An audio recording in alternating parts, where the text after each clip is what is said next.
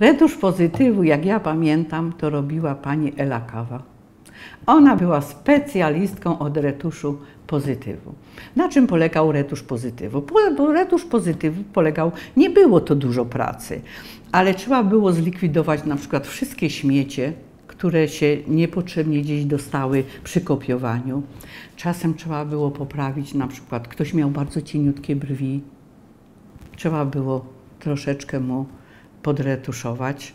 E, Retusz pozytywu też polegał na takim delikatnym pykaniu, jak ołówkiem negatyw, tylko to się robiło pędzelkiem.